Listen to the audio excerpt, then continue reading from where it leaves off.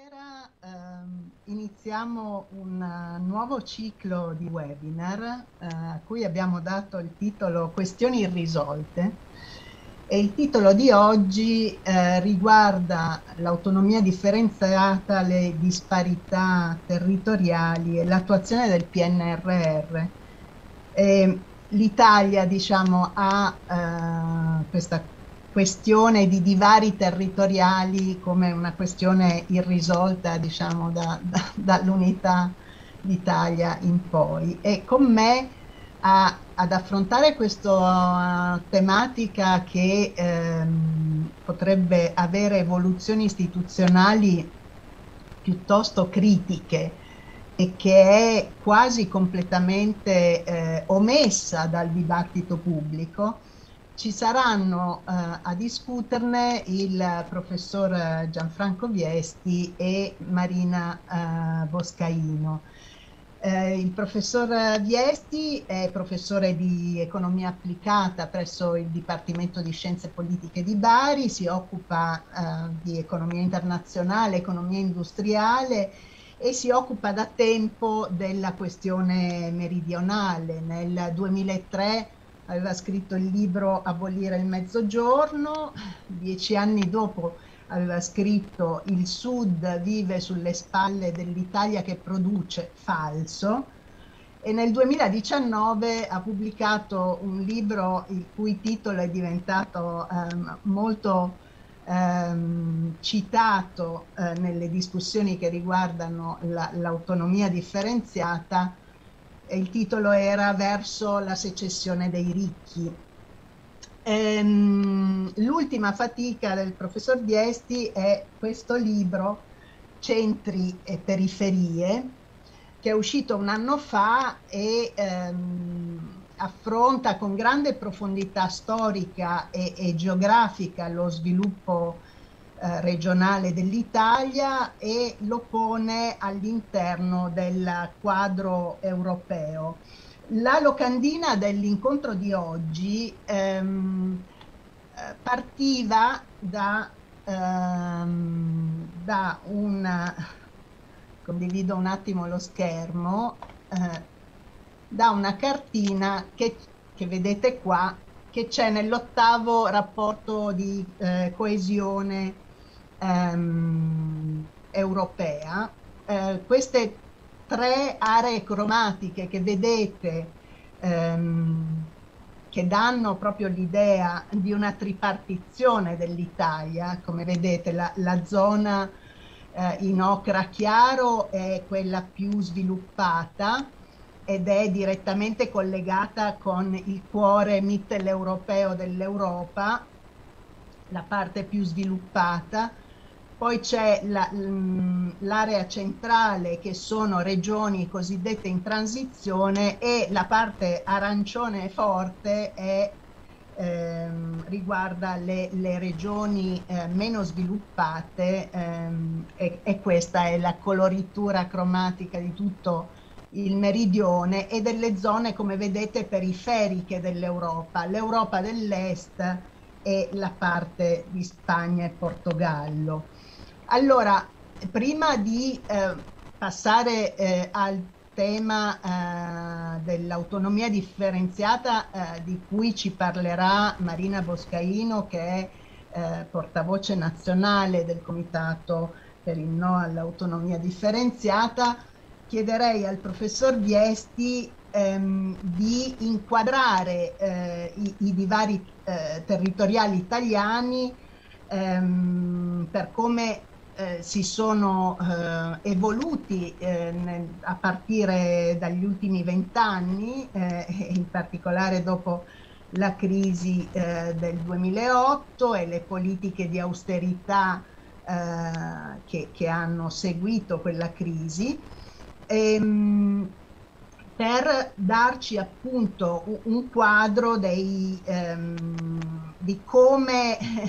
ehm, il, il meridione l'Italia eh, debbano superare quelle che lei chiama la trappola dello sviluppo intermedio e i divari nei diritti di cittadinanza, parlandoci insomma, in pratica in pillole del capitolo 17-18 del suo libro. Le passo la parola, grazie. Grazie, grazie molte, buonasera a tutti, grazie molte dell'invito. E, diciamo, proviamo a dare una risposta appunto in pillole a questa domanda perché le dinamiche territoriali in Italia e in Europa sono molto interessanti e l'errore più grave che si può fare è pensare che tutto sia sempre uguale a se stesso, invece tutto è profondamente cambiato, non necessariamente le cose cambiano per il meglio, possono cambiare anche per il peggio, ma il quadro è sicuramente nuovo. Quello che succede eh, in Italia e nel Mezzogiorno va collocato in uno scenario internazionale di tipo economico, tecnologico, istituzionale e demografico soprattutto. L'altro errore che noi normalmente facciamo è quello di considerare le dinamiche dei territori come frutto soltanto di quello che succede al loro interno. Invece le dinamiche dei territori, soprattutto in Europa, sono profondamente collegate le une alle altre. E questo secolo è segnato da forti processi di polarizzazione, cioè lo sviluppo è più forte eh, nella gran parte delle aree che già sono più forti all'interno del continente. Questo eh, dipende eh, e quindi questo provoca eh, processi di allontanamento nello sviluppo fra le diverse regioni europee, eh, in grande misura ehm, tutte le regioni italiane perdono terreno rispetto a quelle europee, quindi la questione dei divari interni del nostro paese va letta, contrariamente a quanto facevamo nel secolo scorso, non come una corsa di inseguimento a chi cresce più velocemente fra nord e sud, una corsa virtuosa naturalmente, ma come un processo molto più pericoloso di allontanamento di tutte le aree del paese dalle medie europee. Eh, perché avvengano questi processi di polarizzazione è una questione molto interessante eh, hanno più radici, hanno radici di carattere economico internazionale perché eh, una parte della manifattura è andata via dall'Europa, è andata verso l'Asia e quindi questo ha colpito vecchie regioni industriali europee. Contemporaneamente le nostre regioni sono sempre più terziarizzate questo significa che si stanno creando dei divari molto grandi, ad esempio tra le città e le aree non urbane. Eh, in Italia questo fenomeno c'è, è meno grave, ma è il fenomeno più importante che connota la vita della Francia contemporanea di cui abbiamo avuto dire, una manifestazione plastica nei risultati elettorali. Eh, ci sono motivi di carattere tecnologico perché queste nuove tecnologie che noi stiamo usando anche in questo momento sono abilitanti per molti versi, non dobbiamo averne paura, eh, portano nuove possibilità ma al tempo stesso hanno, possono portare processi di concentrazione, quindi il valore va via dai nostri piccoli negozi di quartiere va ad Amazon eh, e dunque questo rafforza la concentrazione del potere politico ed economico in alcuni luoghi soltanto eh, del territorio. Ancora ci sono questioni istituzionali, anche queste adesso con la gravissima crisi ucraina di, di, che sono balzate ai nostri occhi. L'Europa ha marciato verso est, eh, ha integrato all'interno del suo territorio vaste aree di quella che noi chiamiamo l'Europa orientale, in realtà è un'Europa centro-orientale, è caduta la cortina di ferro e quindi l'economia europea che prima si disegnava lungo degli assi nord-sud, adesso ha acquisito una dimensione orientale molto importante. Che c'entra questo col mezzogiorno? C'entra moltissimo, molto più di quanto si pensi, perché eh, i paesi dell'est Europa, la Polonia, la Ungheria, la Repubblica Ceca, la Repubblica Slovacca, in primo luogo sono diventate delle grandi aree industriali collegate con la Germania e quindi questo ha indebolito al sud. Ultimo, ma non ultimo certamente, fra i motivi di questa polarizzazione, di questo rafforzamento, è eh,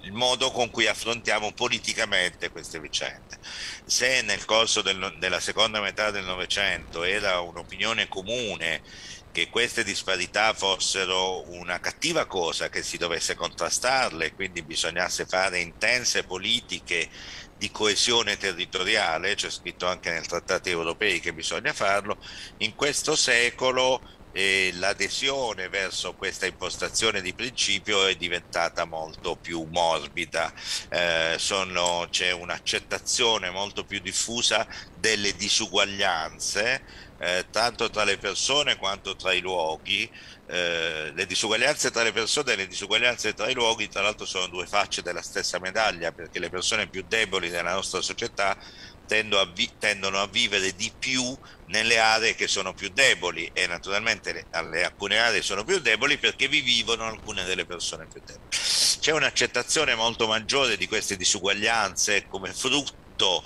eh, della, di quello che il mercato stabilisce e quindi l'intensità della risposta politica a questi fenomeni che citavo prima che dovrebbe essere ancora maggiore che nel passato, è invece diventata più modesta. Questo è lo scenario d'insieme. All'interno del nostro paese eh, questo nuovo secolo ci ha portato a un arretramento complessivo di tutta l'Italia rispetto agli altri grandi paesi europei, un forte arretramento complessivo, quindi il mezzogiorno è diventato eh, è andato decisamente indietro rispetto soprattutto alle aree dell'Europa settentrionale, dell'Europa centrale e dell'Europa orientale. E, all'interno dell'Italia, come dire, nessuna parte del territorio ha tenuto il passo con le medie europee, anche se si è un po' sgranato il centro-nord, nel senso che il sud è rimasto tutto insieme, tutto unito, indietro, decisamente indietro. Eh, il fatto più interessante però è che si è un po' sgranato il centro-nord, nel senso che alcune parti eh, del centro-nord, soprattutto la Lombardia, da Milano verso, verso destra, da Milano verso est, la Lombardia orientale, l'Emilia e il Veneto hanno avuto degli andamenti decisamente meno peggiori rispetto al resto del centro-nord. Quindi le differenziazioni territoriali italiane si sono articolate di più, nel senso che purtroppo non ci sono state differenziazioni all'interno del sud con alcune aree che vanno meglio di altre. Certamente la situazione in Abruzzo, eh, Molise, Basilicata, Puglia e Campania è per molti versi migliore rispetto a Calabria, Sicilia e Sardegna. Calabria e Sicilia soprattutto sono il pezzo nettamente più debole dell'area debole, eh, ma eh, la differenza territoriale si è eh, manifestata con l'indebolimento di alcune regioni molto belle che sono molto simpatiche che ci piacciono molto, le Marche, l'Umbria, gran parte del Piemonte, la Liguria, che sono parti del territorio italiano che hanno avuto un forte arretramento rispetto alle loro condizioni di partenza. Tutto questo, e concludo, eh, si intreccia molto con la vita delle persone, nel senso che, eh, come dire, se fossimo nel secolo scorso, eh, basterebbero le analisi dell'economia per eh, raccontare che cosa succede nei territori. Essendo invece nel nuovo secolo c'è bisogno moltissimo della demografia e quindi delle variazioni della popolazione. Perché? Perché il tutto il mondo, in particolare l'Europa, è radicalmente cambiata da questo punto di vista e da essere un continente eh, che vedeva la sua popolazione crescere, seppure a ritmi sempre più lenti, siamo diventati un continente con una popolazione che decresce eh, e molto interessato da fenomeni migratori, sia interni al continente, perché gli europei si spostano sempre di più, sia, da, come ben sappiamo, dall'esterno. E questa parte demografica è molto interessante perché questa sì è una grande novità che distingue nettamente il mezzogiorno dal centro-nord, nel senso che eh, non è tanto l'economia del nord che è andata così meglio dell'economia del sud, ma è la demografia del sud che è molto più preoccupante della demografia del nord, perché da un lato i flussi migratori che arrivano in Italia, che sono hanno un effetto assolutamente positivo sul nostro paese da ogni punto di vista, anche perché lo rafforzano demograficamente, sono flussi migratori che vanno tutti da Roma in su. E noi ci distinguiamo dagli altri paesi europei perché gli immigrati eh, si fermano molto poco nel mezzogiorno, invece si concentrano tutti nel centro e nel nord. Quindi abbiamo una rappresentazione tradizionale dell'Italia, il sud diverso dal centro-nord. E poi ci sono dei fenomeni di migrazione interna che sono ripresi molto perché soprattutto le classi di età più giovani si spostano dal sud prevalentemente un pochino verso il centro ma prevalentemente verso il nord. E quindi, come dire, è l'effetto combinato degli andamenti economici e di quelli demografici che disegna uno scenario relativamente preoccupante. Eh, il, il Sud conserva una significativa debolezza del suo tessuto economico che non è facile da rafforzare in questo scenario internazionale, si può fare ma ci vuole tanta volontà politica e comunque eh, non succede per opera delle forze di mercato. Le forze di mercato portano lo sviluppo altrove, non lo portano certamente nel mezzogiorno. E, ma preoccupa molto dal punto di vista demografico, soprattutto l'uscita delle corti più giovani. In questo quadro, per dare il là eh, come dire, all'intervento di Marina Boscaino, e, come dire, anche in Italia si è molto rafforzata l'idea che eh, il benessere dei cittadini e la dotazione di servizi di cui essi possono godere non debba essere, eh, come c'è scritto nella nostra Costituzione, uguale ovunque, ma possa essere in qualche misura collegato al, al reddito dei luoghi. Mm? una differenziazione dei diritti di cittadinanza interna al paese, che appunto non c'è in Costituzione, ma eh, comincia a diventare una, una, realtà di fatto nel nostro paese, in base a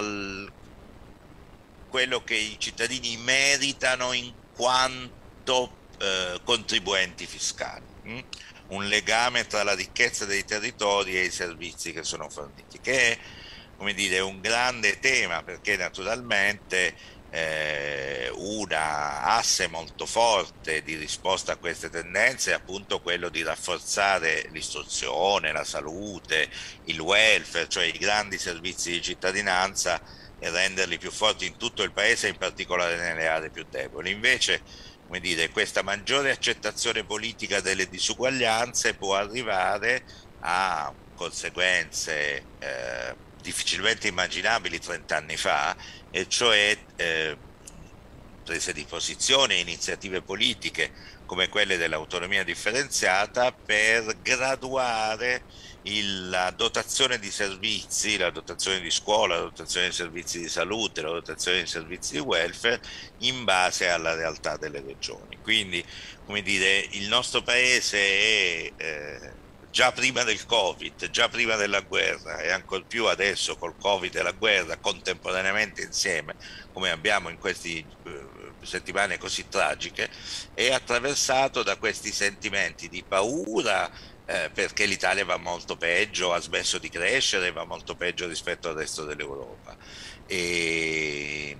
di indebolimento dei legami che ci tengono insieme, di maggiore accettazione eh, politico-sociale delle disuguaglianze che rappresentano come dire, il profondo terreno di coltura per proposte politiche come quelle dell'autonomia differenziata, che non cade dal cielo. Ecco, questo finisco qui.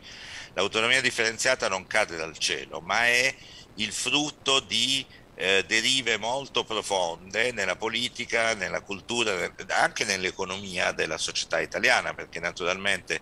come dire, le, la richiesta di autonomia differenziata è molto una richiesta difensiva di aree forti che si sono indebolite. È la stessa cosa che, identica cosa che è successa in Catalogna. Quando il Veneto e la Catalogna, pur essendo così ricche, hanno dovuto ridurre i servizi per i propri cittadini a causa politiche, del cattivo andamento dell'economia e delle politiche di austerità, hanno cominciato a pensare ma perché noi che siamo così ricchi dobbiamo ridurre i servizi ai nostri cittadini? Riduciamo i servizi ai cittadini delle regioni più povere, perché noi siamo così ricchi che ci possiamo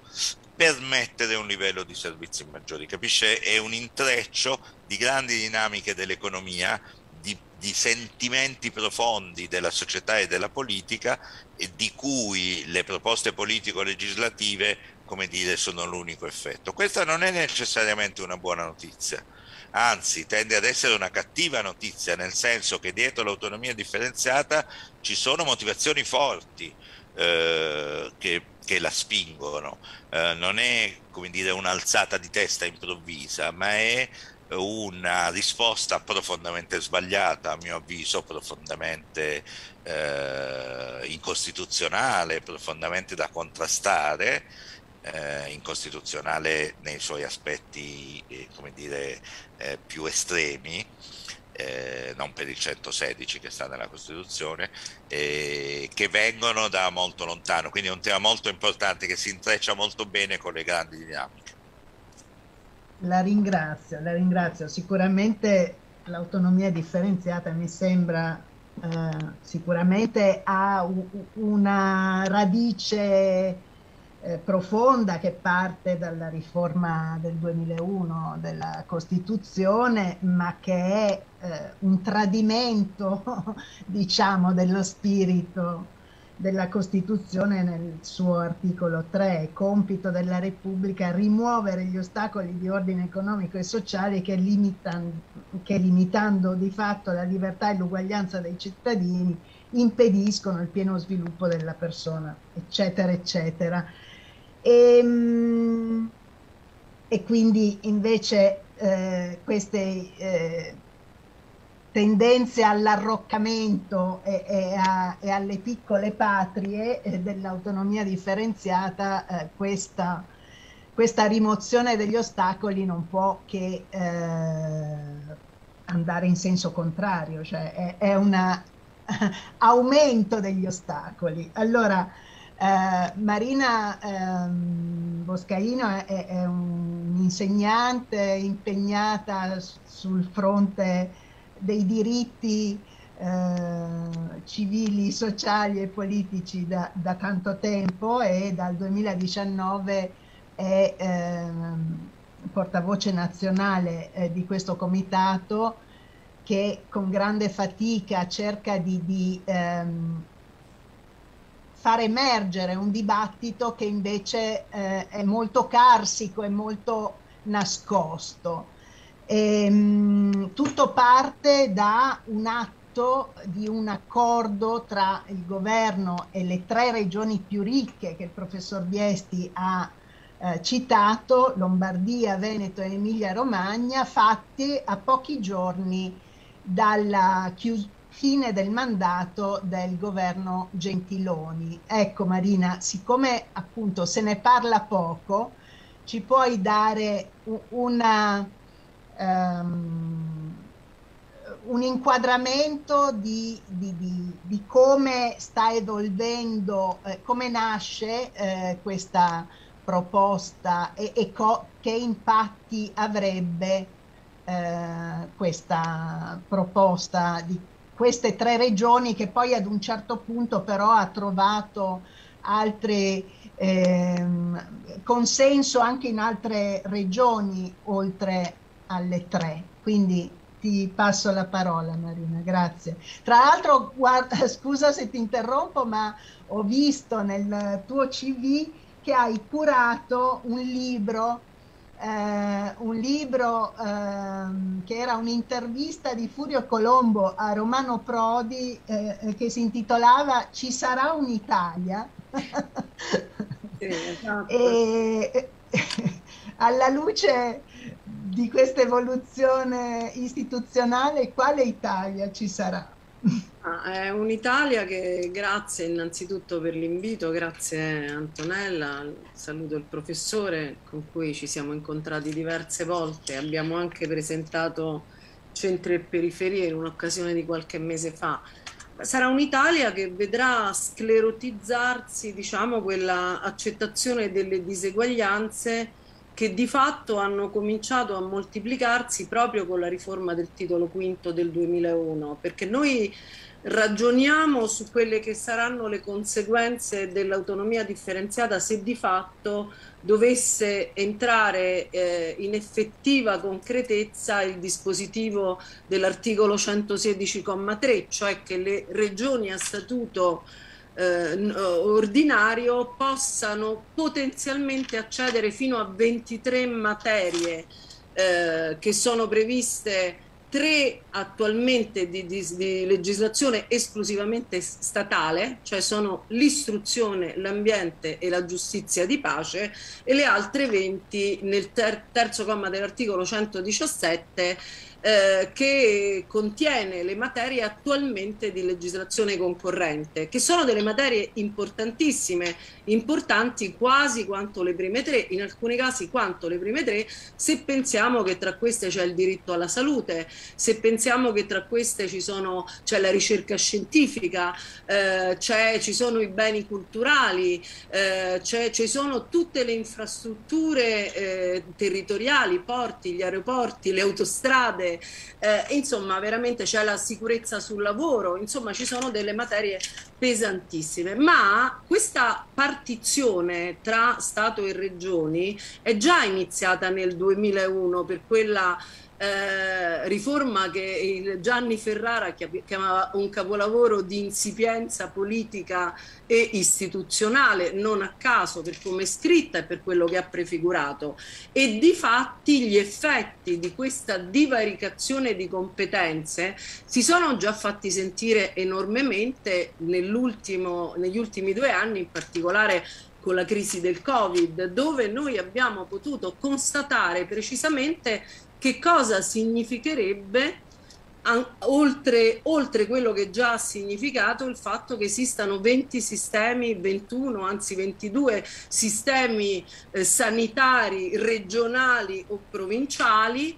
e 20, 22 sistemi scolastici differenti. Noi eh, basta considerare i dati che ci dà la Fondazione Gimbe nella prima parte del lockdown, in un certo periodo di tempo della prima parte del primo lockdown noi abbiamo avuto la Lombardia che è stata la regione del mondo con il maggior numero di morti nel rapporto tra territorio ed abitanti. Quindi questo grande eh, sistema sanitario lombardo che nel frattempo dal 2001 in virtù appunto della competenza legislativa concorrente tra Stato e Regione aveva fatto in tempo a eh, privatizzare il 45% del ser proprio servizio sanitario, ecco che ha dimostrato che cosa accadrebbe. Quindi il mondo sarà questo, sarà un mondo in cui sarà istituzionalizzato il fatto che esistano come diceva prima il professore, eh, cittadini sostanzialmente di serie A, di serie B e di serie Z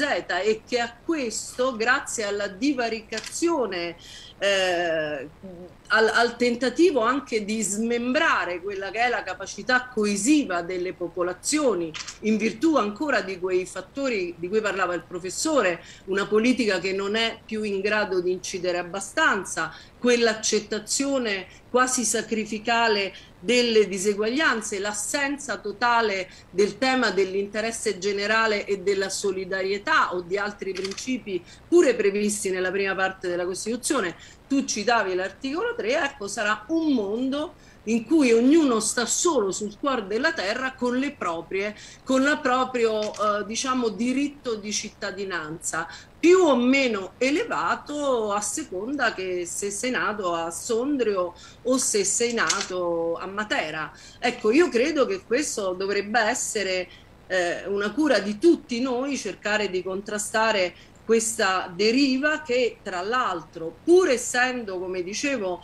già di fatto concretamente realizzata in virtù dell'attuale disposizione costituzionale ovvero ad articolo 116,3 non ancora realizzato prevede un'ulteriore accelerazione laddove quei percorsi, quelle preintese che come dicevi giustamente sono tre diverse preintese, quindi un regime pattizio, diciamo ci mettiamo d'accordo governo e singola regione, tu chiedi 23 materie perché sei il Veneto, tu ne chiedi 20 perché sei la Lombardia, tu ne chiedi 16 perché sei l'Emilia Romagna e tutto questo determinerà un gioco non solo di materie ma anche di funzioni. Pensate che le funzioni richieste dal Veneto sono 200 funzioni, tra cui c'è anche la gestione delle, delle, dei migranti. Cioè io credo che sia qualcosa che dovrebbe... Ecco, quando questi patti perché patti tali sono preintese che diventeranno intese di fatto verranno perfezionate, se non sia mai dovessero venire perfezionate, ecco noi ci troveremo davvero alle piccole patrie, come dice il professor Villone, ad un regime signorile a marce diverse, dove ci sarà eh, il, il, la signoria dei Visconti, ma ci sarà anche la signoria del, dei signori nessuno che saranno ulteriormente portati a dedicarsi a quel turismo sanitario, per esempio, che oggi è all'ordine del giorno in regioni come la Calabria, come la Sicilia, ma anche in altre regioni, Calabria e Sicilia, che in virtù di tale turismo sanitario accessibile solo a chi ne ha la disponibilità, acquisiscono anche soldi dalle regioni di provenienza dei malati. Quindi insomma siamo proprio alla, eh, alla rivoluzione totale di quelli che sono i principi della prima parte della Costituzione. Sarà un mondo molto brutto, sarà ancora più brutto del mondo attuale. Eh. Grazie Marina. Allora, eh, proviamo a vedere qualche spiraglio di positività, eh, nel senso che ehm,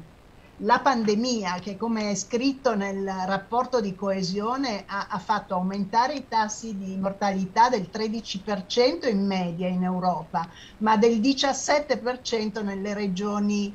eh, più, ehm, meno sviluppate, appunto, ha portato eh, a, ad una ad un'inversione rispetto a, a, alle politiche di austerità, almeno nelle intenzioni. C'è stato questo grande stanziamento per l'attuazione del Next Generation con i vari piani nazionali di ripresa e resilienza che per l'Italia, eh, scusate che condivido eh, lo schermo, ehm, aveva eh, questa ripartizione eh, tra, tre, tra, questi tre driver principali, un 40% circa della transizione ecologica, un 40% circa eh, nella transizione eh, per il mezzogiorno e um, circa 27% eh, per la transizione digitale. Allora, eh, questo piano potrebbe essere una, ehm, il viatico per avviare quelle eh, politiche di infrastrutturazione materiale e immateriale di cui eh, l'Italia, soprattutto al sud, ha, ha molto bisogno. Eh, e quindi chiedo al professor Biesti se da questi primi mesi di eh, eh, implementazione di quel piano, alla luce anche delle difficoltà storiche che l'Italia ha sempre avuto nel, eh, nella, eh, nello spendere i soldi stanziati nelle politiche strutturali europee, e, considerando il forte gap eh, che hanno le amministrazioni eh, locali del mezzogiorno anche in termini proprio di, di dipendenti, eh, con un numero di dipendenti della pubblica amministrazione rispetto alla popolazione che è circa la metà della media europea, come, come pensa che eh, questo piano eh, di ripresa e resilienza possa eh, colmare un po' i gap di cui eh, ci ha parlato prima. Dunque, l'iniziativa europea è molto importante e noi un po' l'abbiamo trascurata presi dalla congiuntura delle cose, dalla congiuntura italiana e poi adesso da queste vicende dell'Ucraina, ma la decisione eh, di avviare questo piano per la nuova generazione è particolarmente importante per almeno due motivi. Il primo motivo è che si mettono in comune le sorti dell'Europa, nel senso che i paesi europei sono tutti solidali fra loro nell'indebitamento. Questo indebitamento che viene fatto è un indebitamento a valere sulle risorse del bilancio comunitario, quindi a valere sui contributi di tutti gli Stati europei. Questa è la prima volta che succede ed è molto importante. Il secondo motivo è che queste risorse non sono distribuite in modo equilibrato all'interno dell'Europa, ma vanno in maniera molto più intensa verso quei paesi che hanno maggiori debolezze strutturali o che sono stati maggiormente colpiti dal Covid, quindi ha la ripartizione delle risorse molto più favorevole per l'Italia e per la Spagna di quanto non sia per altri paesi europei. E tra l'altro questo significa riproporre un principio politico della massima importanza, esattamente quello che si è molto indebolito in Italia, e cioè che le sorti della casa comune dipendono dal benessere di tutti e se c'è da investire bisogna investire in modo particolare su chi è in maggiore difficoltà, su chi è più indietro, su, chi ha maggiori problemi strutturali, perché la crescita di chi è rimasto più indietro, la crescita dell'Italia e della Spagna, che può in particolare determinare il benessere dell'intera Europa. Eh, I tedeschi hanno, che sono tanto criticabili per, tanto, per tanti motivi, ma eh, non per questo certamente,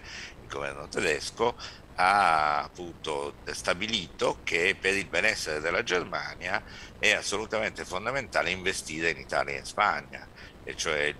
il, governo tedesco non ha preteso per sé le risorse che pure vengono dalle tasse pagate dai tedeschi, ma in maniera molto lungimirante molto egoista ha eh, puntato sulla circostanza che queste risorse fossero investite in Italia e in Spagna perché la crescita dell'economia italiana e spagnola e quindi la crescita dei consumi italiani e spagnoli che fa il bene della Germania perché quanto meglio noi stiamo tanto più Volkswagen compriamo.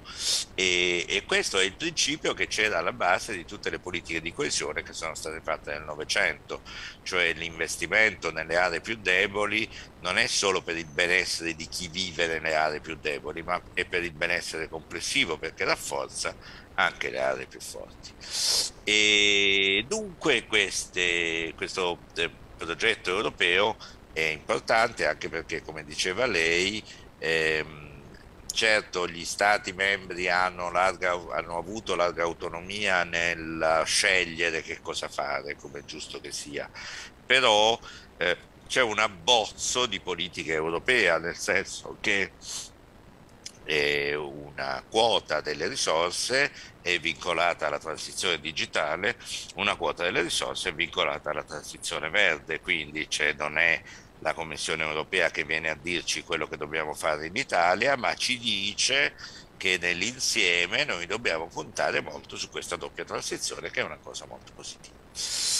E riuscirà il piano nazionale italiano a contribuire a risolvere i nostri problemi e anche i problemi dei divari territoriali? È molto difficile dirlo, segnalo a chiunque fosse interessato che stiamo molto faticosamente, visto il clima anche di discussione nel nostro paese, eh, avviando una discussione eh, su questo sul sito della rivista Il Mulino, che è una discussione accessibile senza paywall, una discussione diciamo, che chiunque può andare a consultare. Eh, io ho provato a lanciare lì la discussione appunto scrivendo un breve testo che si chiama riuscirà il PNRR a rilanciare l'Italia e poi stiamo provando a discutere appunto con le difficoltà del fatto che adesso si parla di tutto tranne che di questo del nostro paese con interventi, non so, da Chiara Saraceno ad altri eh, sui diversi tanti aspetti del PNRR. Non posso riassumere questa discussione qui perché come dire, nei confronti del piano dobbiamo assumere un atteggiamento eh, molto attento e molto pragmatico. E da un lato essere molto attivi, cosa che non sta succedendo se non in misura limitatissima, nella critica e nel suggerimento rispetto al governo, cioè io trovo profondamente sbagliata questa attitudine largamente prevalente nella stampa e nei partiti della coalizione di governo, attitudine del c'è il governo dei migliori, lasciamolo lavorare, quindi loro sanno bene che cosa fare per noi. La trovo profondamente sbagliata anche perché il piano è intricatissimo, è complicatissimo, le pubbliche amministrazioni centrali sono molto deboli e quindi una discussione, la maniera migliore dire, per aiutare Draghi non è battergli le mani, ma parlargli molto, criticarlo molto, suggerire molto. E allo stesso tempo però non dobbiamo assumere un atteggiamento catastrofista perché l'esito del piano è molto aperto. Molte delle cose che sono previste nel piano sono molto positive. Eh, cito un esempio per tutti, la circostanza che il nostro paese stia investendo 4 miliardi e 600 milioni per la realizzazione di nuovi asili nido è una scelta politica a mio avviso estremamente positiva, estremamente importante. E quindi come dire bisogna tifare perché questo si realizzi, non bisogna tifare perché il piano non abbia successo, anche perché se il piano italiano non ha successo come dire, non ci vuole molto a rifare tutto il percorso che abbiamo fatto di coesione europea, tutto al contrario, e quindi a tornare a uno scenario di contrapposizione fra i paesi. Eh, in questo quadro riuscirà il PN, sua, quindi, vado, quindi ci sarebbero infiniti temi da discutere sul piano, perché è un piano molto grande, in Italia è molto più grande che in tutti gli altri paesi europei, per capirci in Italia è circa 230 miliardi, in Germania è 28 quindi è una scala incommensurabile, un piano articolatissimo, complicatissimo, importantissimo, dentro ci sono la politica sanitaria, la politica della ricerca, la politica delle infrastrutture, la politica industriale, la politica dei rifiuti, quindi meriterebbe eh, diciamo una, ed è essendo anche molto eh, come dire disomogeneo nei suoi contenuti eh, non merita un approccio di totale approvazione o di totale critica, bisogna molto entrare nel merito e dire eh, la misura per gli asili nido è assolutamente eccellente, la misura che finanzia i borghi, eh, la ristrutturazione di questi borghi pittoreschi all'interno del paese del Ministero della Cultura eh, con ehm, con uh, 420 milioni di euro è una misura estremamente discutibile. Bisognerebbe entrare nel merito. Riuscirà il piano a ridurre le disuguaglianze territoriali? Mi spiace molto, ma anche a questa domanda la mia risposta non può che essere forse, perché da un lato bisogna dare atto al governo di avere eh, preso questa scelta di indirizzare il 40% delle risorse verso il mezzogiorno, forse sono poche, ma comunque è una, un impegno interessante, loro poi hanno un pochettino come dire, un po' in extremis inserito anche una norma per cui questa percentuale va applicata non solo al totale ma anche a ogni singola misura. Quindi c'è un indirizzo politico di cui bisogna dare atto, però al tempo stesso che questo sia raggiunto è estremamente dubbio. È, è dubbio, non è detto che non è raggiunto. Perché? Perché è dubbio? Perché innanzitutto, come dire, è un approccio molto quantitativo che è molto più debole, cioè si dice il 40% deve andare al sud per principio, ma non si dice da nessuna parte bisogna fare gli asili nido laddove non ci sono. Tra le due affermazioni c'è una grande differenza, la seconda bisogna fare gli asili nido laddove non ci sono. Innanzitutto è, è molto più eh, eh, come dire, è molto più facile che assuma un grande, raccolga un grande consenso politico e che si traduca operativamente in norme che ti portano a indirizzare le risorse del PNR nei comuni italiani, ovunque essi siano, dove non ci sono gli asili nido. Dire il 40% al sud è molto rozzo, si presta a contestazioni, eh, non è dirimente su diverse misure, eh, sconta ed è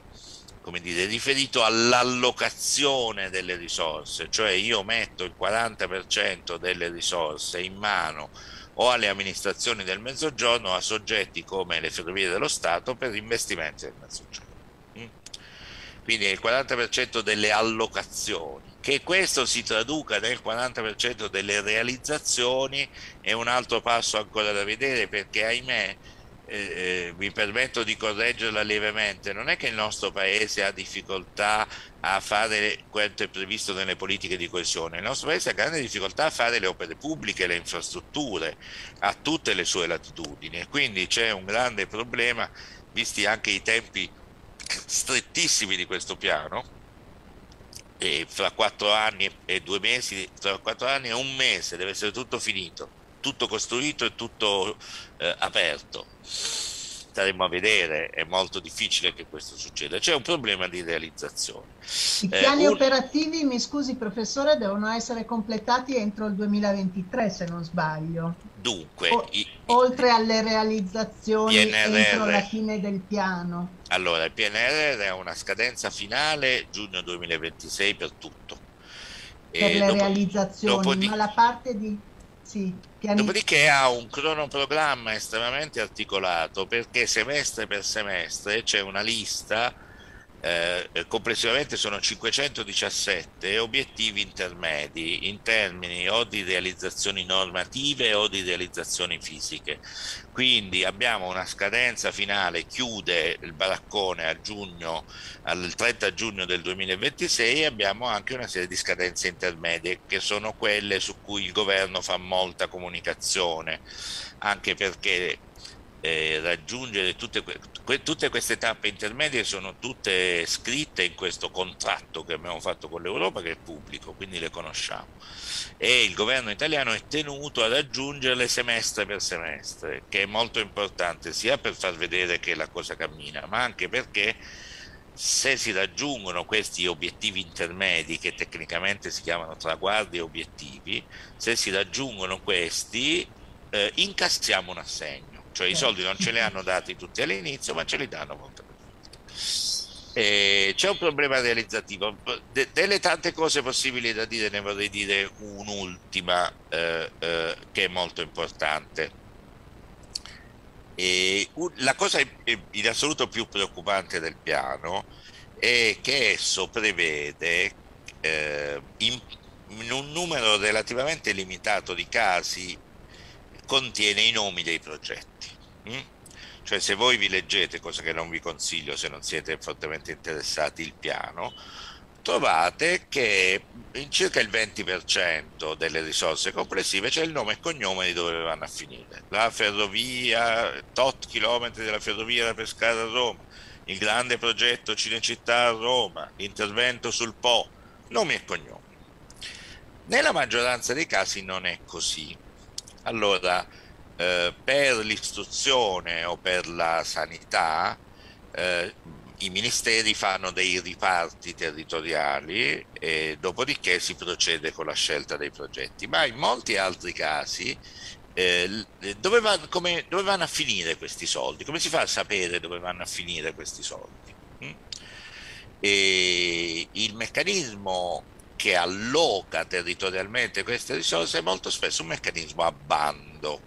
cioè i ministeri fanno dei bandi a cui partecipano non le imprese ma le amministrazioni locali, principalmente i comuni, ma anche le università per esempio, anche i gestori dei servizi idrici, eh, eh, pubbliche amministrazioni territoriali. Quindi eh, il, eh,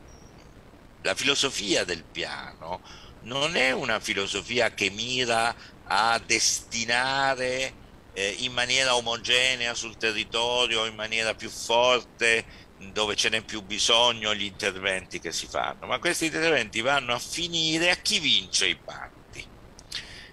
e che è comprensibile dal punto di vista del governo, perché il governo così si assicura il più possibile che i soldi li dà ad amministrazioni che poi sono in grado di fare quello che vogliono fare, che i progetti ci sono, perché devono finire in quattro anni.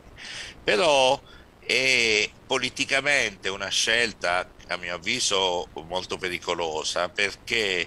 eh, applica agli investimenti pubblici dei criteri di concorrenza fra gli enti, di competizione fra gli enti. Eh, chi, chi, l'ente locale in grado di più di fare un buon progetto ha i soldi. E, come dire, non è questo un principio, è un principio estremamente discutibile questo, pur con la clausola del 40%, perché poi se non c'è il progetto il 40% non si concretizza. E questo, eh, quindi che cosa sto dicendo per concludere? Sto dicendo che dove vanno a finire territorialmente i soldi del PNRR non è scritto dall'inizio e non c'è oltre questo generale 40%, un impegno del governo perché questi vadano a finire dove ce n'è più bisogno. Hm?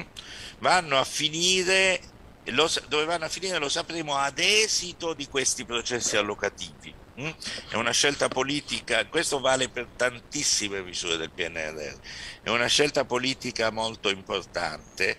e naturalmente questo può provocare, come lei diceva, una maggiore difficoltà complessiva delle amministrazioni del sud, perché le amministrazioni comunali, soprattutto del sud, sono eh, più deboli che nel resto del paese. Questo ha a che fare anche con i meccanismi di attuazione della Costituzione, e, e, tutto si tiene, no? ha a che fare con i, i, i meccanismi di finanziamento dei comuni così come sono cambiati in attuazione della riforma costituzionale del 2001. E... Ma non è solo sud e nord. Hm? Eh, possono darsi allocazioni squilibrate all'interno del sud fra regioni. Eh, posso, per esempio la Calabria è molto più debole dell'Abruzzo della Puglia, possono darsi allocazioni squilibrate nelle regioni perché le amministrazioni dei comuni più grossi possono essere maggiormente in grado di intercettare le risorse rispetto alle amministrazioni dei comuni più deboli. Ci sono dei casi Torino, Napoli, Reggio Calabria, eh, di Catania, di amministrazioni fortemente indebitate che quindi eh, possono avere dire, grandi difficoltà a mettere in atto le procedure ordinarie per realizzare tutto questo. E infine, tutto questo ci porta, perché tutto si tiene, ai temi che citava Marina Boscaino prima, e cioè eh, dobbiamo sempre tenere a mente che il fine ultimo non è quello di costruire un asilo nido, questo è importante perché è un'attività di investimento che fa girare l'economia, ma non è che costruiamo l'asilo nido per mettere sulle mura, noi costruiamo un asilo nido perché ci vadano i bambini, ma perché ci vadano i bambini? C'è bisogno degli insegnanti. E gli insegnanti degli asili nido non li paga il PNRR, ma li pagano le risorse ordinarie dei comuni che sono come dire, fanno parte contemporaneamente del capitolo PNRR e del capitolo autonomia regionale, autonomia comunale e autonomia differenziata. Cioè il PNRR ci ributta in faccia i temi, eh, diciamo non tanto dell'autonomia differenziata quanto dello stato delle autonomie italiane e dei, dei, piani, di rientro dei, dei piani di rientro sanitari, ma in maniera ancora più clamorosa dei criteri di finanziamento dei comuni, di come sono stati stabiliti eh, i fabbisogni per i comuni, eh, per esempio tutti ricordiamo che nel 2016 quando si è detto quanti soldi dobbiamo dare ai comuni perché gestiscano gli asili nido, che fabbisogno di asili nido c'è nei comuni italiani? la risposta clamorosa del governo di centrosinistra dell'epoca è stata beh il fabbisogno è uguale al servizio che c'è. Se non ci sono gli asili nido significa che non ce n'è bisogno. E quindi a Reggio Calabria non gli diamo niente perché tanto lì non ci sono gli asili nido che gli diamo a fare i soldi per eh, come dire, finanziare gli asili nido. E quindi tutto si tiene nel senso che il PNRR è molto importante e interessante, è la parte di investimento, ma l'investimento è utile se genera servizi e quindi deve essere accompagnato da buone politiche correnti. Mettere i binari fra Reggio Calabria e Salerno è una cosa utile, ma è utile se poi ci vanno i treni. Se non ci vanno i treni, come dire, rischia di... Capisce? un problema ulteriore, il problema è non abbiamo i soldi, poi non ce la facciamo a fare le opere. Io le sto ponendo il problema finale, che è quello, facci, facci, passa la fatina con la bacchetta magica, ci fa fare tutti gli investimenti previsti dal PNRR. Abbiamo risolto? No, non abbiamo risolto ancora perché li dobbiamo mettere a valore e questo ci riporta ai temi dell'autonomia e dei principi che la sorreggono. Se il principio è che le donne e i bambini piccoli hanno diritto all'asilo nido solo laddove già ce l'hanno, siamo molto lontani da principi eh, di equità e di, di, di eguaglianza fra le persone.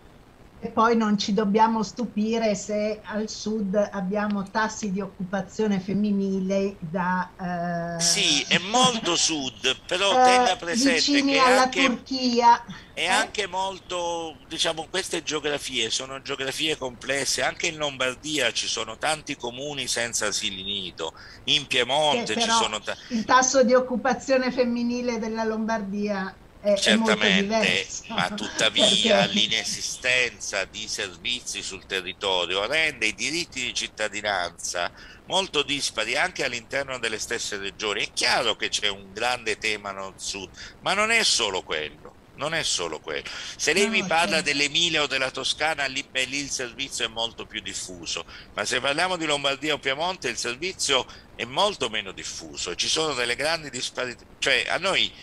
diciamo, il nostro problema non è il meridionale, il nostro problema è il cittadino italiano che ovunque viva deve avere a disposizione una quantità e una qualità di servizi tendenzialmente, uniforme. tendenzialmente uniformi. Certo, ma rispetto, eh, eh, poi chiudiamo subito e passo la parola a Marina, eh, rispetto a questo discorso della concorrenza dei bandi,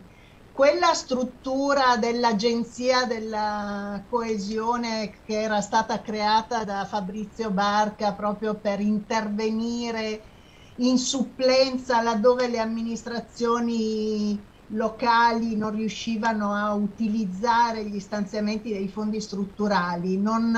non si sta attivando qualcosa di questo genere eh, dunque no, l'agenzia non, mai, l'agenzia non, ha mai, fatto quel mestiere, l'agenzia fa il mestiere di eh, dire, gestire e monitorare le risorse finanziarie europee, ma non di fare assistenza tecnica ai comuni. E nel PNR l'agenzia gestisce alcune risorse, quindi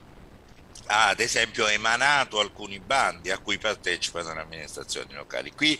eh, diciamo, le butto lì un tema che non tocco per evidenti motivi di tempo, e cioè che nel PNRR vedo una pericolosa, forse voluta, secondo me voluta, ma è un'opinione personale, sottovalutazione dell'importanza delle amministrazioni pubbliche per il benessere del nostro paese. Cioè il PNR scarica in generale sulle amministrazioni pubbliche grandissime responsabilità, ma non si occupa minimamente di potenziarle. Così è il piano. Da quando è partito il piano in poi sono, hanno cominciato progressivamente a rendersi conto che questo poteva essere un grande problema e quindi sono corsi, come dire, al riparo attraverso tutta una serie di misure che ha fatto Brunetta, che ha fatto la Carfagna, eh, il sostegno della Cassa Depositi e Prestiti, come dire, perché gli fallisce tutto il piano, perché se le amministrazioni sono deboli gli fallisce tutto il piano. Ma è a mio avviso eh, impostato in una misura eh, con un indirizzo politico che personalmente non condivido, eh, in base al quale eh,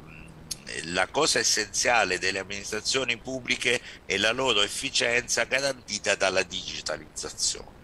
eh, ma non dalle competenze che sono dentro le amministrazioni pubbliche, capisce? Quindi non, non, si è posto proprio il problema il governo Draghi, tranne, salvo poi intervenire, come dire, a sostegno eh, perché poi non, non, potrebbero non farcela. Per esempio, eh, nel bando dei rifiuti del Mite le domande sono state insufficienti, anche nel bando asili nido le domande sono state insufficienti. Che si fa? Le domande, capisce? Non è che poi non li fanno, cioè quel problema viene dopo, per adesso non li allochiamo nemmeno. E quindi c'è una corsa da parte del governo a creare delle eh, occasioni di sostegno a queste amministrazioni, e, però come dire, è, è, è, un sostegno molto debole rispetto alla scala degli impegni che sono richiesti. E alle tempistiche strette. Grazie. Tempistiche. A voi. Eh, Marina, ehm, la Gelmini ha recentemente parlato di una legge quadro che che dovrebbe dare il viatico all'autonomia differenziata. Cosa, ehm, come si sta muovendo il comitato per il no, volevo, volevo evitare che tu mi dicessi cosa ne sai perché di queste leggi no entrambe, che... entrambe le cose. Cosa ne sai e cosa si fa? di queste leggi quadro che eh, diciamo vengono ventilate perché non si può eh, parla, usare un altro termine, governo dopo governo non se ne sa nulla, come eh, diciamo nulla si è saputo dei contenuti delle preintese tra governo Gentiloni e eh, le tre regioni che dicevamo finché il sito ROARS non ha deciso così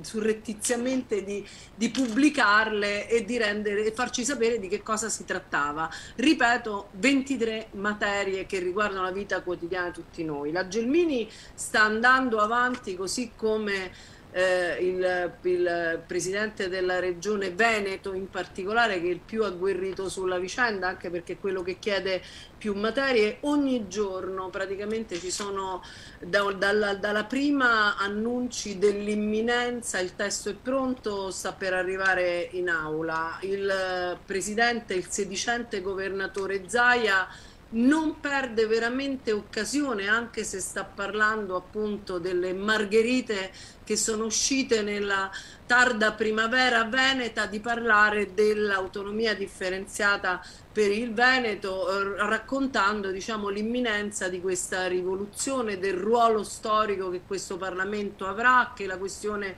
si chiuderà entro la legislatura, eccetera, eccetera. Il tema è proprio quello che si aggiunge diciamo, al cahier de doléances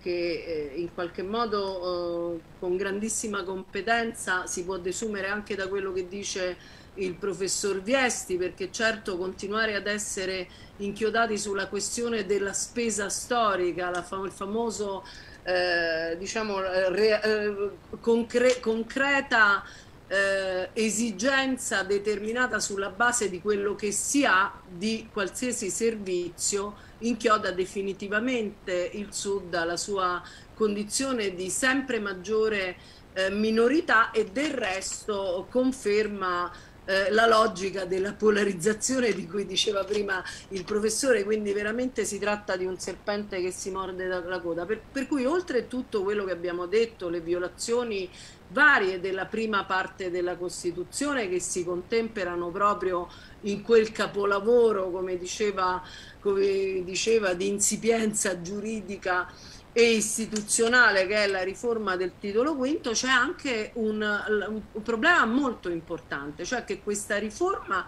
da una parte configura una riforma istituzionale sotto mentite spoglie per i motivi che dicevamo, cioè eh, non è banale dire come mi, mi ha ripreso diverse volte il professor Villone che non sarà più compito della Repubblica rimuovere gli ostacoli che il principio di solidarietà non sarà più uno degli elementi fondativi su cui si basa eh, la civiltà giuridica ma anche etica e politica di questo paese e di questa Repubblica. Ma c'è un tema ulteriore, se noi pensiamo che la questione dell'autonomia differenziata andrà anche a determinare di fatto nella scuola e nelle altre materie che abbiamo citato, la rottura del contratto collettivo nazionale, noi arriveremo, eh, arriviamo molto facilmente a considerare che si tratta di una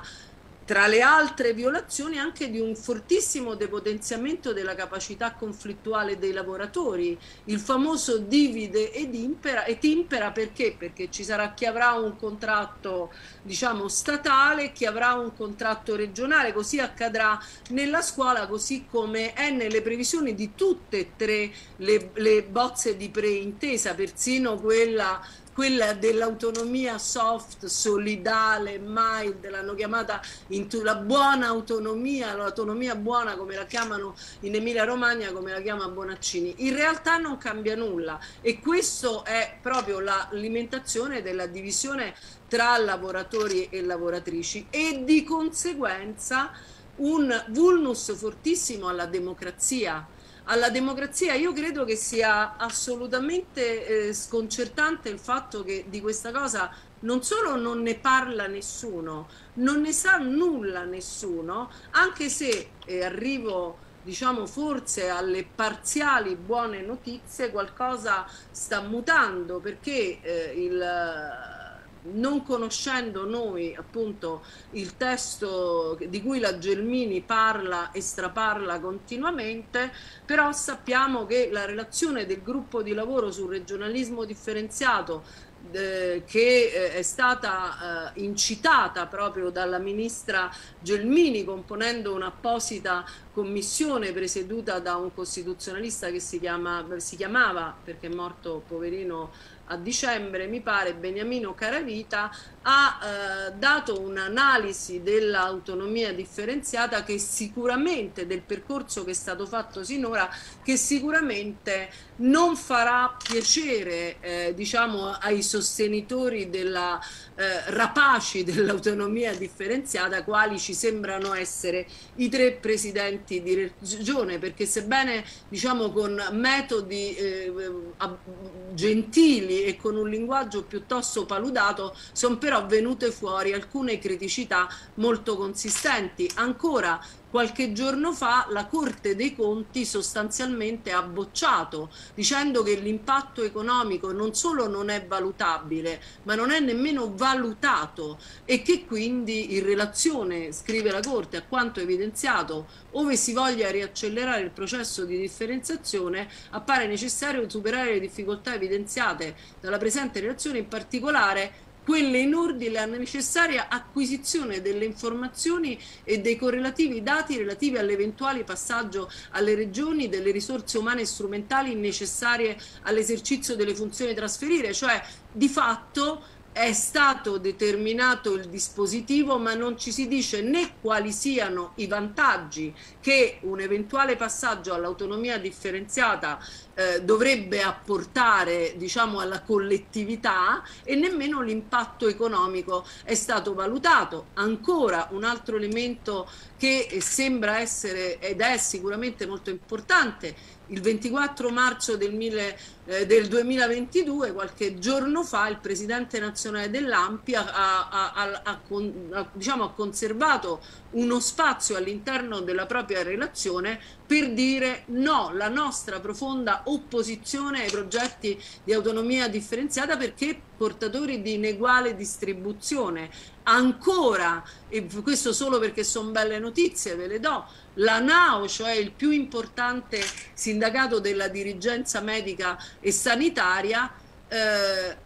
l'autonomia differenziata uccide l'uguaglianza e infine anche la CGL nel, per quanto riguarda l'autonomia differenziata eh, sul DEF ha consegnato un documento in cui boccia l'autonomia differenziata, il che di fatto è anche una novità perché come sapete gli accordi regionali sono stati ratificati anche dai, dai sindacati e quindi questo e l'avrete sentito tutti che persino il sindaco di Bologna si è schierato apertis verbis contro il proprio presidente di regione, non così conflittualmente, ma di fatto sì perché ha parlato di autonomia differenziata, no grazie, un progetto superato, eventualmente ci vuole una, eh, una, un'attitudine contraria, anche credo per i motivi che evidenziava prima il professor Viesti. Noi dal canto nostro siamo riusciti ad articolare diciamo, una unità di intenti, parlo proprio di unità di intenti perché noi come comitato ci chiamiamo per il ritiro di ogni autonomia differenziata l'unità della Repubblica e l'uguaglianza dei diritti, che è un titolo molto lungo ma sono tre concetti molto chiari. L'unità della Repubblica è quella prevista dall'articolo 5 della Costituzione che parla dell'autonomia, autonomia nell'alveo dell'unità della Repubblica, è un inciso molto enfatico. Eh, e siamo riusciti ad organizzare eh, questo tavolo, tu Antonella lo sai perché partecipi a questo tavolo che tiene dentro mondo dell'associazionismo, tra cui Medicina Democratica, Carte in Regola, il, il Forum Italiano per l'Acqua Pubblica, partiti politici come Sinistra Italiana, il Partito della Rifondazione Comunista, DEMA, il Partito Comunista, eh, e mondo importantissimo, mondo del sindacato, la FLC-CGL, cioè il, il, sindacato della scuola della CGL, l'USB, i COBAS ed altri eh, sindacati, diciamo così, conflittuali. Perché ve lo dico questo? Prima di tutto perché cercheremo di mantenere il tavolo per obiettivi, nessuno vuole portare sotto la nostra visione eh, diciamo che è una visione sicuramente che si potrebbe considerare estremista da certi punti di vista, ma noi ci crediamo tanto, ci crediamo al punto che la prima dichiarazione nel luglio del 2019, alla fine di un'assemblea partecipatissima, quando ancora si potevano fare le assemblee, fu se solo una materia passasse alla competenza regionale esclusiva sarebbe stemperato il principio di uguaglianza e noi a questo non ci stiamo. Però abbiamo degli obiettivi comuni che non diciamo scavalcano le sensibilità di nessuno di questi soggetti così diversi, c'è anche il CDC dentro al momento ci stiamo, eh, diciamo, stiamo cercando di organizzare dei comitati regionali che individuino eh, iniziative all'interno delle regioni e stiamo, eh, abbiamo scritto un documento da consegnare al Presidente della Camera Fico proprio per sollevare il problema della democrazia e delle procedure a dir poco opache. Vi ricordo che anche nel, nel prossimo DEF il primo collegato alla finanziaria è l'attuazione dell'articolo 100 116,3 e per quanto ci riguarda stiamo lavorando insieme ad una cordata molto ampia di associazioni e partiti per eh, coniugare la battaglia contro l'autonomia differenziata con quella contro il DDL concorrenza che in qualche modo è il complemento dal punto di vista diciamo degli enti locali di quel processo di privatizzazione che certamente l'autonomia eh, differenziata metterà in campo perché parliamoci chiaramente chiedere l'autonomia differenziata e come dicevi tu Antonella oggi solo due regioni in Italia non hanno ancora iniziato delle pratiche cioè il Molise e l'Abruzzo gli altri anche la Calabria ha iniziato diciamo, un percorso benché non avanzato come quella delle tre regioni. Guardiamo con molta attenzione infine ai progetti di cancellazione del comma 3 dell'articolo 116 che sviterebbero uso l'orrida frase che usava il ministro Fioroni, quella del cacciavite, quando, come dire, ci buttava addosso l'ulteriore riforma della scuola nel 2006-2008, ma insomma sarebbe una scacciavitata si, si, molto significativa alla possibilità di andare avanti con un progetto devastante. Fermo restando che tutto il titolo quinto, insomma, eh, c'è un articolo 117, c'è un articolo 118, c'è un articolo 119 che avrebbero bisogno di una revisionata, ma insomma non chiediamo troppo, insomma, e quindi continueremo in questo modo a cercare di eh, svolgere iniziative Insieme e sempre ringraziando chi come il professor Viesti ci ha dato la possibilità di studiare le cose, io insegno italiano e latino al liceo classico, quindi nulla di più lontano da me dell'economia. Eppure quel libro eh, verso la secessione dei ricchi me lo sono letto e ho imparato un sacco di cose e invece il diritto costituzionale, diciamo per chi come me fa militanza da tanti anni sulla scuola della Costituzione della Repubblica è qualcosa di doveroso, come lo, del resto lo sarebbe anche l'economia. Comunque grazie veramente per questa iniziativa perché è molto veramente importante provare a parlarne con tutti. No, io, io ringrazio moltissimo voi e ehm, vorrei chiudere proprio con uno sguardo sul presente, no? perché ehm, sotto due profili lo chiedo ad entrambi un commento finale. Da un lato questo discorso della crisi eh, energetica eh, vediamo che eh, sta avendo dei eh, delle conseguenze di questi viaggi verso eh, nuovi fornitori di energia e di gas, mi chiedo se questo spostamento, ehm, questa ridefinizione della geografia economica dal punto di vista delle fonti energetiche possa avere eh, delle ricadute positive per il Mediterraneo e quindi il sud Italia, e, e questa è una prima considerazione. Um, così come voglio dire sia la pandemia che questa guerra mi sembra che obblighino le economie a ridefinire eh, un po' l'orientamento da export led a economie più eh, più centrate sulla domanda interna invece che sull'export e quindi mi chiedo se questo non potrebbe beneficiare anche un discorso di maggiore interconnessione tra eh, mezzogiorno e eh, centro-nord. Ehm, e dall'altra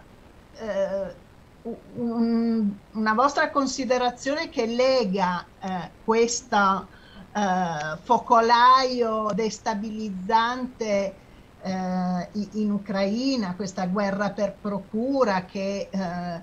eh sposta la spesa pubblica verso spese militari, eh, facendo perdere di vista di nuovo eh, il discorso della spesa sociale. Ehm, che nasce tutto sommato da un discorso di autonomie non gestite. Eh, quindi ehm, il, rapport- il discorso delle, dell'equilibrio tra eh, stati più eh, centralistici come la Francia con stati eh, federali come la Germania e l'Italia che è una via di mezzo, non si capisce, però l'Europa nel suo complesso ha un, un problema di ehm, equilibrio tra i vari livelli istituzionali eh, ehm, in senso verticale, non gestito e non affrontato. Ecco, volevo chiudere con delle vostre considerazioni su, su questi due aspetti mh, mm, per, per ricollegarci al presente molto drammatico e, e preoccupante, che però forse potrebbe potrebbe, nella misura in cui dalle crisi a volte nascono anche delle riflessioni e dei cambi di, di policy come è stato eh, per la pandemia, in questa fase non sembra che ci sia una volontà di affrontare anche in maniera eh, coesa per l'Europa questo problema delle fonti energetiche e, e, e di un suo ruolo eh, che, che, sia centrato rispetto al benessere delle sue popolazioni e non a, a, all'intervento in termini di supporto bellico, insomma, che, che è stata la prima risposta. Eh, io vi chiedo scusa, mi devo però staccare immediatamente perché diciamo, ho un'esigenza adesso qui. E, te, telegraficamente la risposta eh, due cose direi, dalle guerre non viene mai niente di buono, quindi finché dura mm, io sono molto preoccupato, molto molto molto preoccupato, facciamola finire e poi ragioniamo sulle possibili conseguenze. E la seconda è che di tutte le cose che ha detto lei, quella che mi sembra diciamo, un po' più tangibile è, è il discorso energetico, perché in ogni caso comunque vada a finire l'esigenza di una maggiore indipendenza energetica rimarrà e questo comunque sposterà eh, verso le rinnovabili e quindi questo comunque potrebbe produrre degli impatti positivi nel mezzogiorno e per il resto non mi sentirei di dire niente direi prima facciamola finire e ragioniamo poi vediamo quello che succede io vi chiedo scusa davvero ma devo chiedo scusa no, grazie, Marina Moscaina se non posso ascoltarla ma devo scappare perché abbiamo devo scappare un po' i tempi arrivederci grazie. grazie. Arrivederci. Arrivederci. Ma io guarda, eh, naturalmente non sono una specialista di, questa, di queste materie e non amo parlare di cose che non conosco bene, però ci sono alcune valutazioni che certamente riesco a fare. Cioè io penso che sia davvero scandaloso che dopo il Covid e dopo la sterzata ulteriore che la guerra ha dato ad una, ad una nazione che è in crisi come la nostra, eh, ebbene si parli ancora di autonomia differenziata, come dicevo prima, eh, la, la, questione viene posta addirittura tra, primi, tra il, il primo provvedimento collegato al DEF. Questo è incredibile, tra l'altro oggi mi è capitato di eh, ascoltare l'intervento in aula del senatore Gregorio De Falco, il quale ha chiesto l'emendamento, lo stralcio di quel, di quel primo elemento nel collegato, solo 20 senatori ne, ho parlato con lui per telefono, nell'incuria totale, nella ignoranza totale di ciò di cui si stava parlando, hanno votato a favore di quell'emendamento. Sarà bene è... Marina, scusa se ti interrompo, di far sapere quali sono i nomi di questi eventi. Sì, sì, ci sono, ho la registrazione, certamente lo faremo perché appunto ci rivolgeremo a loro. La seconda cosa mi sembra veramente eh, è una cosa banale ma sicuramente importante da ricordare come il Presidente del Consiglio abbia dileggiato la questione della ricaduta economica terrificante che si avrà soprattutto sui ceti più deboli di questo paese, cioè quelli che già sono stati terribilmente impoveriti e che non meritano di essere messi alla berlina. L'alternativa non può essere tra la pace e l'aria condizionata. C'è gente che va a lavorare, che fa dei lavori massacranti usando l'automobile, c'è gente che ha dei consumi obbligatori. Voi come sapete il caro caro bollette è frutto di una speculazione distruttiva per questo paese, ci sarà chi ci farà profitto su questa cosa. La terza cosa, e forse la più clamorosa, che nel 117,3, cioè sulle materie a legislazione attualmente concorrente che vengono richieste dalle regioni, cioè produzione, trasporto e distribuzione dell'energia e quindi di conseguenza ancora una volta saremo ecco, a un fiorino nel ognuno passato. esatto farà per sé. E invece concludo proprio davvero l'ultima parola, una parola sulla scuola, cioè sulla funzione importantissima che la scuola può avere da questo punto di vista. Perché? Perché io credo che in questo momento tutta la questione eh, che è una questione tragica sulla quale davvero non credo di poter dire parole né interessanti né significative, vede nel nostro paese però il prevalere di un pensiero unico che non si è mai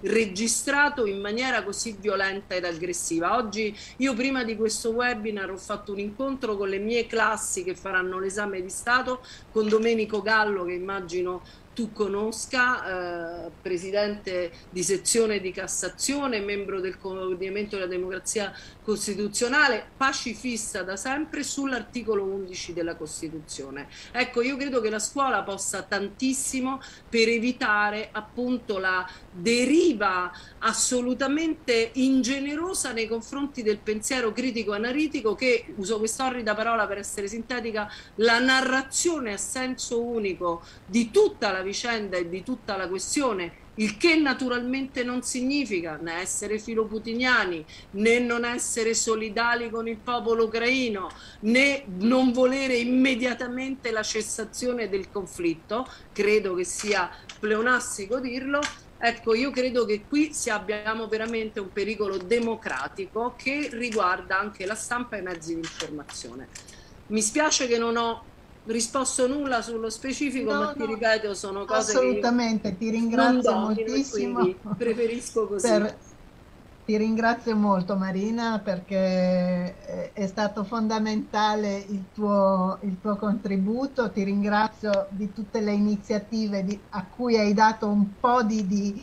di, eco, visto che non abbiamo mezzi di informazione che ci, aiutino, eh, che ci aiutano e quindi chiudiamo così. Grazie ancora, grazie a grazie te, a te e grazie a mille grazie piani.